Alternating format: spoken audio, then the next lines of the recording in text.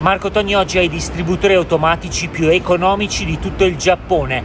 Una bottiglia 10 yen, cioè 8 centesimi di euro per una bottiglia, solo 8 centesimi. Questo distributore ha tutto a 10 yen, cioè 8 centesimi e anche questo tutto vedete solamente a 10 yen. Quale premo? Premo questo. Oh, è. No, vabbè. Ah, il Calpis. Perché costano così poco? Perché in realtà quella che vedete qui dietro è una società di distributori automatici e un po' per farsi pubblicità e un po' per svuotare i fondi di magazzino piuttosto di buttarle lì, via, le vendono a pochissimo qua. Che buono. È anche carino il fatto che escano proprio a sorpresa, quindi tu finché esce la bibita non sai effettivamente che cosa stai andando a comprare.